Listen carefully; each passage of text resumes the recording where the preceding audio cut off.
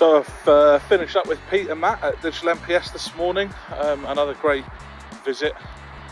Another client that truly does understand the power and the benefit of web to print. Um, the guys there are long-term web to print users uh, across multiple platforms. Apparently got around 60 storefronts running.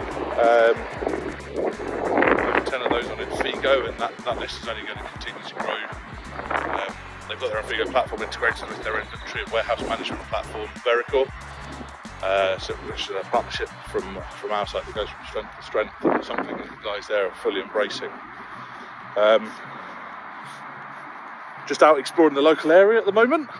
Not sure I needed a gilet in uh, the the heat in Dallas, but I had to get the Infigo branding in somehow. So that's me over and out for today. Um, looking forward to final trip in Dallas tomorrow, which is to go and visit Eric and his team at the Boom Group before uh, wheels up, taking off and heading off to St. Louis Friday night in anticipation for what is going to be an excellent Dscoop conference. Looking forward to the uh, Infigo team that are heading over from the UK. Look forward to meeting up with some familiar faces again within the Dscoop community as well. Um, and also I'm on a panel about a really exciting project that I've been working on with HP, Precision Pro Code, um, and a local publishing company in the UK as well. So uh, I'll, I'll fill you in more about that in due course, but uh, for now, over and out.